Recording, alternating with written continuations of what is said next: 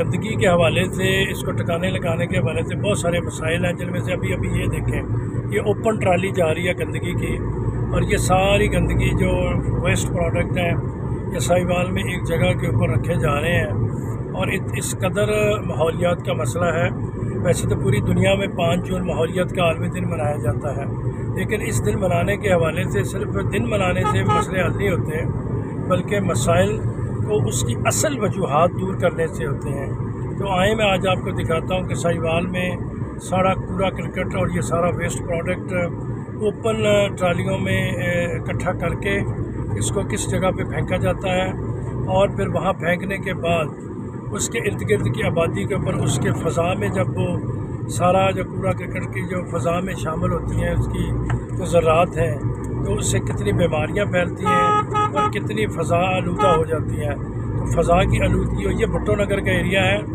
ابھی یہاں سے ایک پل کے اوپر ہم چڑھیں گے، برج سا بنا ہوا ہے۔ اور اس کے ارد گرد کس قدر گندگی ہے، یہ سائیوال جو کہ ایک، عالمی یہ سطح کا ایک پروجیکٹ ہے، جس کو ایشین ڈیولپمنٹ بینک کے تعاون سے یہ بن رہا ہے۔ ایک پروجیکٹ ہے، اس کے ذریعے بہت ساری ڈیولپمنٹ ہو رہی ہیں۔ لیکن اس ساری ڈیولپمنٹ کے پیچھے جو اصل مسئلہ ہے، وہ یہ ہے کہ گندگی کے ڈھیر جو ہے یہ یہ برج ہے جی جو بنا ہے، اب میں آپ کو دکھاؤں گا کہ سائی وال کا جو ساری گندگی جو ہے، وہ کٹھی کر کے کہاں پھینکی جاتی ہے۔ اور اس کو پھینکنے کے بعد ارد گرد کی آبادی جو ہے، شاید وہ اتنا شعور نہیں رکھتے کہ انہیں اس بات کا شعور ہو کہ اس گندگی سے فضا کی آلودگی اور بیماریوں کے حوالے سے ابھی ابھی آپ یہ مناظر دیکھیں جی یہ ساری گندگی کے یہی ڈھیر ہے یہ سائی وال کا وہ علاقہ ہے جہاں پر آپ بغور دیکھ سکتے ہیں۔ یہ گندگی کے وہ ڈھیر ہیں جو سائی وال کے پورے شہر کی گندگی کو یہاں اکٹھا کیا جاتا ہے۔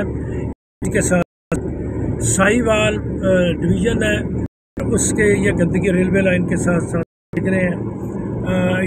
اٹھتا ہوا دھواں کے لیے رہا ہے۔ اس حوالے سے ضرورت ہے کام بالا